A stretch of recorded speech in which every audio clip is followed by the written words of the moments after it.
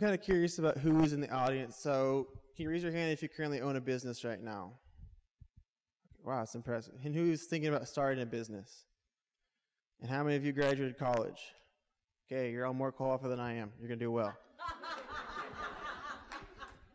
so, um, this whole story, what I was going to tell you about is I don't know what to talk about. So, I'll tell you the story of uh, my journey to where we are today, a little bit where we are today, and kind of um, maybe there's some things to pick up along the way. Um, I guess before I start talking, I should show you what it is we do. So, this is the product we make. It rolls up to the back of your truck. It fits in the hitch receipt where you hook up a trailer. Legs drop to the ground. A large platform unfolds. With a push of a button, it's lowered to the ground. All electric powered. You can load overhead with stuff you have to load on. It lifts it up to the bed of your truck. You slide it in, folds back up, and then you drive away. Thank you.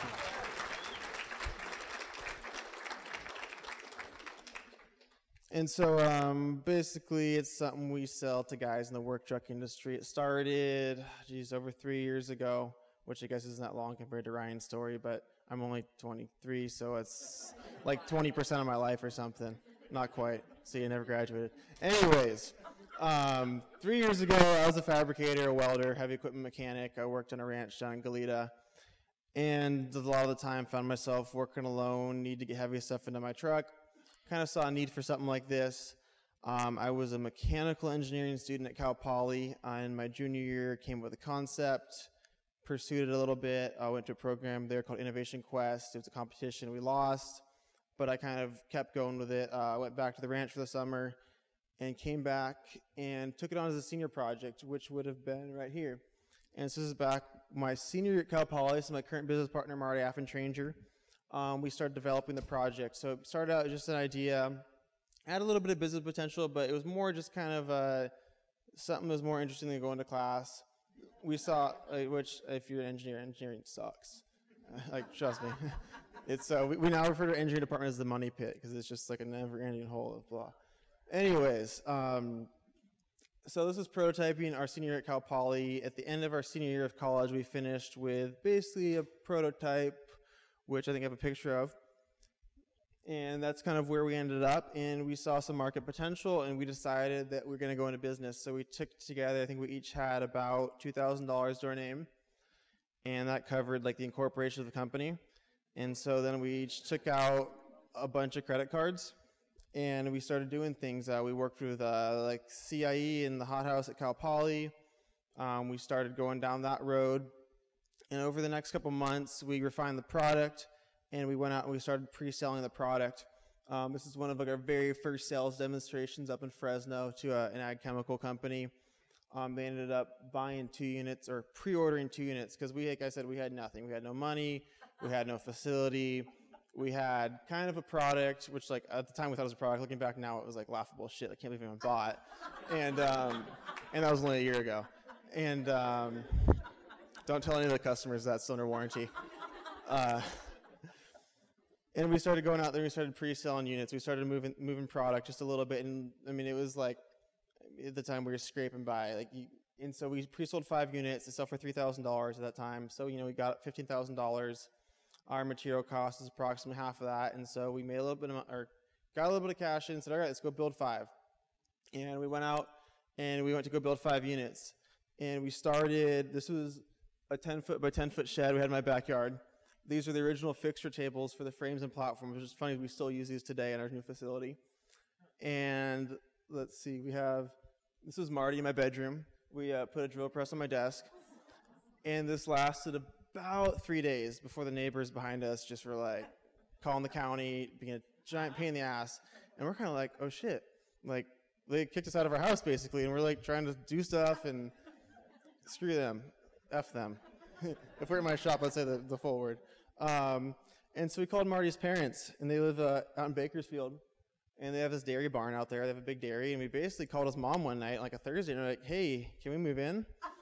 and um, no shit, yeah, she's just like, sure, come on over. And so we loaded up our trucks and we drove to Bakersfield. And I moved into his sister's room. She'd since moved out, and he moved back into his room. And uh, we started working in the barn, and it sucked. Like, I, if you talk about business being hard work. I mean, like to give you an idea how much it sucked. We were there for two days, and I was in Fresno picking up parts, and I get a call from his uncles, and he's like, "Hey, uh, Marge's in the hospital." I'm like, "Why is he there?" He's like, "Oh, he lost his thumb."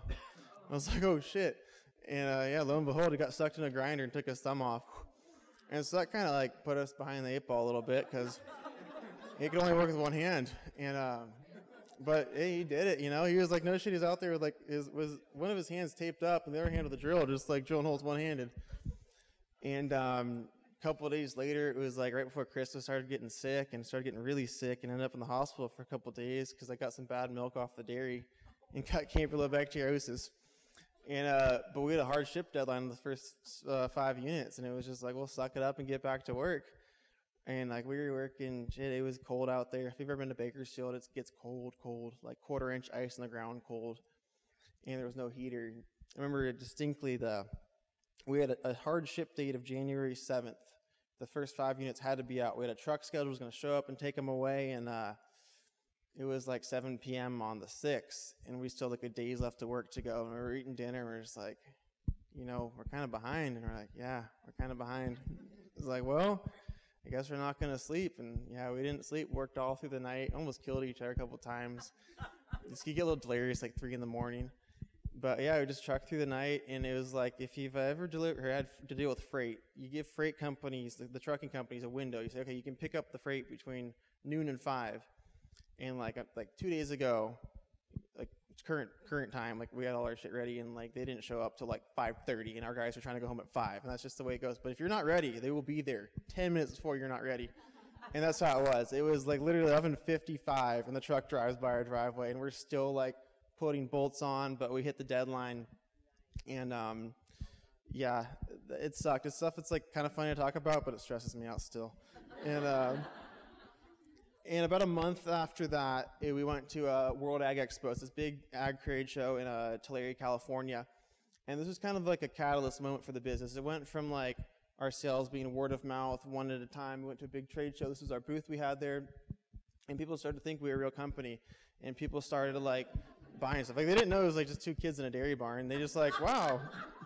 Um, things started going well and so out of the show, you know, we started selling more units, and it was like it went from ones and twos to like threes and fours, and you know, five a month. And um, out of that, we built up.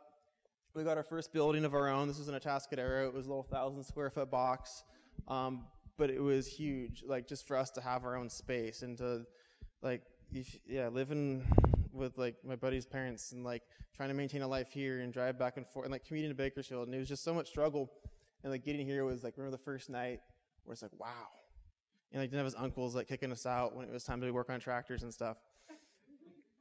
And um, for the next couple months, it was a lot of stuff like this. It was like you load a couple lift gates in the truck and go sell them. And we started getting to bigger customers, like um, Bay Area Rapid Transit started buying, and started getting into guys who were, you know, we started shipping out of the state to Montana and New Hampshire, and the product got some traction. And then we started getting more and more customers. This was a big rental company in the Bay Area. This is like about August of last year. And this was about, you know, we started shipping out six at a time. And the company kept growing around this point. You know, we had some guys who were Cal Poly alumni step forward and give us some help financially. Um, I, I think it's one of the things we didn't realize is how much money it takes to actually start a business. And it's insane how much money we spent last year. It just, it, I mean, we spent over a quarter million dollars last year, and that's just like it doesn't include. We made, I think right now I'm making a thousand dollars a month. So all my guys that work for me make more money than I do, and just like which is it's just part of the game. But um, yeah, and also living on a thousand dollars a month kind of sucks, but whatever. American Express has been very good to me. Um, and this is about August of uh, of last year um, coming to the end of this, and this is the new building we moved into. So it's uh, 4,000 square feet up in Atascadero. Um, came in there, renovated it, built an office. Um, we've bought a bunch of tools, and that's one of the coolest things is about, um, you know, like I said, you don't make much money and I work a lot of hours, and there's a lot of sacrifice. Like I think when I started this company, uh, my dad and I didn't talk for like a year. He was like pissed that I started a company. Like it was not an okay thing to do. I turned down a job at Apple, and I was like, I'm gonna do this.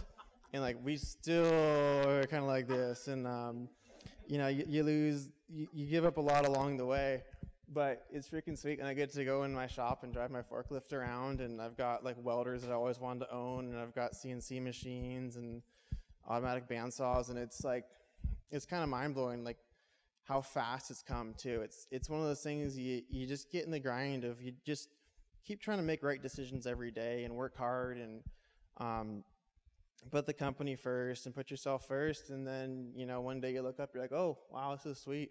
When did this happen? And um, it's kind of rewarding. Um, like I can't talk too much about it, but we had some guys from a giant investment firm fly out this week, and I spent the last four days with our financial guys going over numbers and talking like big picture stuff and it's like wow. This is a it kind of makes the job worth it. So kind of to wrap it up what i would say is um, if you're doing it or you're thinking about doing it or uh, it's a fun job it's a very hard job but if it's for you you just got to work hard and keep your head down and uh, keep at it and you know try to find some some enjoyment out of it. So thank y'all for having me